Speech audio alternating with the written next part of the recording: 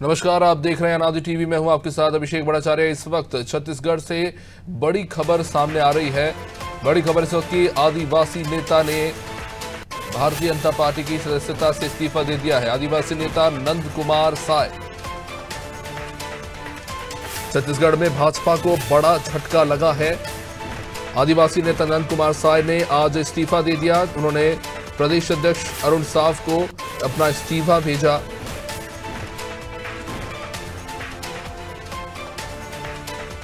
भाजपा के सांसद रह चुके हैं। कई अहम पदों पर रह चुके नंद कुमार ने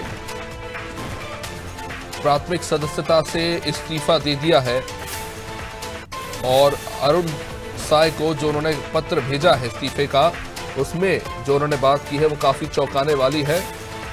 उन्होंने अपने पत्र में लिखा है कि कुछ वर्षों से भारतीय जनता पार्टी में मेरी छवि को धूमिल करने के उद्देश्य से मेरे विरुद्ध अपनी ही पार्टी के राजनीतिक प्रतिद्वंदियों के द्वारा षड्यंत्र पूर्वक और झूठे आरोप और अन्य गतिविधियाँ लगातार की जा रही है, जिससे उनकी गरिमा को ठेस पहुँचा। नंद कुमार शाह आगे लिखते हैं कि वे इन घटनाओं को लेकर अत्यंत आहत महसूस करते हैं और बहुत गहराई से विचार करने के बाद उन्होंने पार्टी छोड़ने का मन बनाया।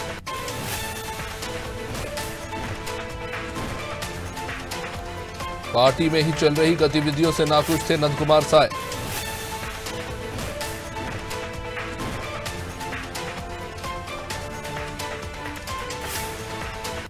तीन बार सांसद रह चुके हैं।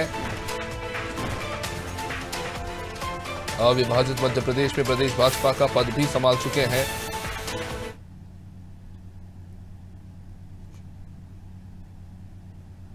नंद कुमार साय जो लंबे समय तक भारतीय जनता पार्टी के साथ रहे जिन्हें अनुसूचित जाति आयोग का राष्ट्रीय अध्यक्ष भी पार्टी ने बनाया था।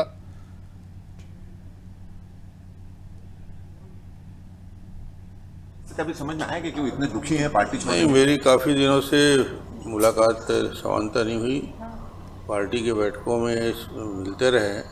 मगर कभी आ, इस प्रकार का जो आज जो बयान आया है वैसा कोई चर्चा या बातचीत कभी नहीं आया।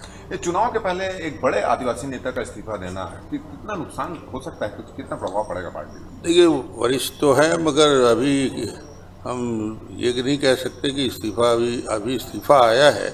इस्तीफा अध्यक्ष जी के पास है उनसे बातचीत करेंगे अध्यक्ष जी और वरिष्ठ लोग और बात करेंगे संगठन के राष्ट्रीय नेता भी बात करेंगे तो कोई रास्ता निकल सकता है। अभी आप लोगों ने संपर्क करने का कुछ बातचीत किया मगर कांटेक्ट नहीं हो पा रहा है। ठीक सर बातचीत हुई। बातचीत में क्या उन्होंने नाराज़गी ज़ाहिर की थी? कोई- बिल्कुल नाराज़गी नहीं थी। कोई सामान्य बातचीत बहुत ही सामान्य बातचीत हुई थी और आज इस्तीफा मिला है और निश्चित रूप से उनसे हम बातचीत करेंगे। मना लिया जाएगा कोशिश? पूरी कोशिश होगी। हमारे वरिष्ठ नेता हैं और निश्चित रूप से कोई गलत फहमी होगी तो उससे बातचीत करके दूर करेंगे।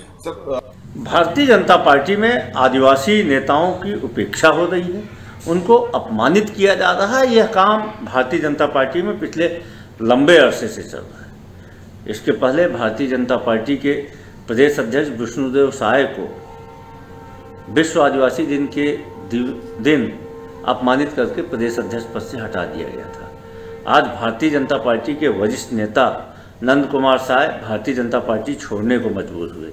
वे नंद कुमार साय जिन्होंने भारतीय जनता पार्टी को पुष्पित पल्लवित करने के लिए अपना खून पसीना लगाया था।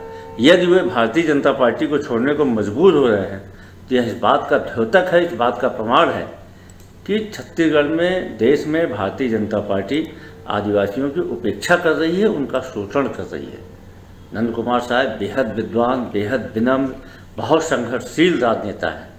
यदि उन्होंने भारतीय जनता पार्टी को छोड़ा है इसका मतलब है कि भारतीय जनता पार्टी लगातार देश के इस बड़े वर्ग के साथ अन्याय और उपेक्षा कर रही है और जिसको नंद कुमार साय जैसे वरिष्ठ नेता जब इंतहा हो गई तो बर्दाश्त नहीं कर पाए तो छोड़ने को मजबूर हुए। हमारे सहयोगी लविंदर इस वक्त हमारे साथ फ़ोन लाइन पर जुड़ चुके हैं। लविंदर, भारतीय जनता पार्टी के वरिष्ठ नेता, आदिवासी नेता ने आज भारतीय जनता पार्टी का साथ छोड़ दिया और खत में उन्होंने चौंकाते हुए लिखा है कि उनकी छवि को धूमिल करने का प्रयास किया जा रहा है, उनके खिलाफ साजिश रची जा रही है। क्या ऐसी घटनाएँ हुई हाल के समय में जिसके चलते नंद कुमार साय ने कदम उठाया? लविंदर जी देखिए अभी आपको बताना चाहेंगे कि एक बड़ा निर्णय लिया है, नंद कुमार साय ने इस्तीफे दिया है उन्होंने, जो अभी पत्र वायरल हो रहा है। शुरू में कयास लगाए जा रहे थे कि ये फर्जी पत्र हो सकता है, लेकिन जब प्रदेश अध्यक्ष से बातचीत की तो उन्होंने बताया कि मुझे ये पत्र मिला है हमने इस पे अभी चर्चा की है। डॉक्टर रमन सिंह भी उनके साथ मौजूद थे उस समय। तो उन्होंने केंद्रीय नेतृत्व से भी बातचीत की है और लगातार नंद कुमार साय से भी बात करने की कोशिश कर रहे हैं, लेकिन उनका, उनसे बात नहीं हो पा रही है। तो ये चुनाव से ठीक पहले एक बड़ा निर्णय लिया गया है नंद कुमार साय की ओर से। लगातार उन्होंने पत्र में अपनी व्यथा भी प्रकट की है कि मुझे पार्टी में सही स्थान नहीं मिल रहा था, मुझे ज़्यादा मिलने, जुलने नहीं दिया जा रहा था। तो ऐसी जो तमाम चीज़ें हैं, जिसको लेकर उन्होंने ये बड़ा कदम उठाया है, इसके बाद अब कांग्रेस भी इस पर पलटवार करते हुए नज़र आई है। सुशील आनंद शुक्ला ने भी कहा कि विश्व आदिवासी दिवस के दिन ही एक आदिवासी को प्रदेश अध्यक्ष पद से हटाया गया। और आज भी अनंत कुमार साय ने अपनी व्यथा व्यक्त की, जिसके बाद उन्होंने पार्टी छोड़ने पे मजबूर हो गए। तो तमाम जो ऐसी चीज़ है, इसको लेकर अब लगातार कांग्रेस मुखर नज़र आ रही है। अभी कुछ देर पहले ही सीएम ने ट्वीट किया जिसमें उन्होंने लिखा, आज श्री नंद कुमार साय जी ने अपने साथ साथ आदिवासियों की मन की बात भी कही है। तो ये एक तरह से कटाक्ष करते हुए कहा कि आज सौवा एपिसोड था नरेंद्र मोदी का मन की बात की। और उसी दिन नंद कुमार साय ने पार्टी छोड़ के इस्तीफा दिया है आज। तो तो ऐसी तमाम चीज़ें हैं। इससे भाजपा लगातार इसे मनाने की भी कोशिश कर रही है, लेकिन ये निश्चित तौर पर चुनाव से पहले पार्टी छोड़ना कहीं ना कहीं भाजपा को नुकसानदायक हो सकता है, क्योंकि लगातार आदिवासी फोकस कर रही है दोनों ही जो राजनीतिक दल हैं, आदिवासी और बस्तर इलाके को खासकर फोकस कर रही है। तो लगातार जो ऐसी तमाम चीज़ें हैं, इसको लेकर उन्हें काफ़ी नुकसान हो सकता है। और ये पहला वाक्य नहीं है। अगर हम बताएँ आपको तो 2018 में रामदयाल उके ने भी छत्तीसगढ़ कांग्रेस को छोड़ के कांग्रेस छोड़ा था, जबकि वो कार्यकारी प्रदेश अध्यक्ष थे। तो ये पहला कोई ऐसा वाक्य नहीं है कि चुनाव से ठीक पहले कोई राजनीतिक दल ने पार्टी को छोड़ा है। लगातार ऐसी चीज़ें लगातार सामने आ रही है। तो निश्चित तौर पे कहीं ना कहीं भाजपा पूरी कोशिश करेगी उनको मनाने की लगातार तैयारी कर रही है। उनसे हालाँकि बात नहीं हो पा रही है। और कयास ये भी लगाता लगाया जा रहा है, जो सूत्रों के हवाले से ऐसी खबर आ रही है कि शायद वो कांग्रेस में जा सकते हैं। ये एक बड़ा निर्णय हो सकता है। फ़िलहाल ये केवल कयास ही लगाए जा रहे हैं। कोई पुख्ता इसकी जानकारी नहीं मिली है। लेकिन निश्चित तौर पे लगातार वो कांटेक्ट कर रहे थे। लगातार जिस तरह से उन्होंने पत्र में अपनी व्यथा लिखी थी। उसको लेके कहीं ना कहीं वो पार्टी से नाराज़ चल रहे थे। और अब पार्टी के तमाम जो बड़े नेता हैं, उन्हें मनाने में जुटे हुए हैं। अब देखने वाली बात यह होगी कि जब कल उनसे बातचीत होगी, चर्चा होगी तो वो किस तरह से इस पर निर्णय लेते हैं? क्योंकि लगातार उन्होंने बातचीत करने की कोशिश की लेकिन उनसे संपर्क नहीं हो पा रहा था। हमने भी उन्हें कॉल किया लेकिन उनका नंबर बंद बताना रहा था। तो जो ऐसी तमाम चीज़ें हैं अभी ये आने वाले चुनाव में कितना फ़र्क पड़ेगा भाजपा को ये अब आने वाला समय बताएगा। जी। बहुत बहुत शुक्रिया रविंदर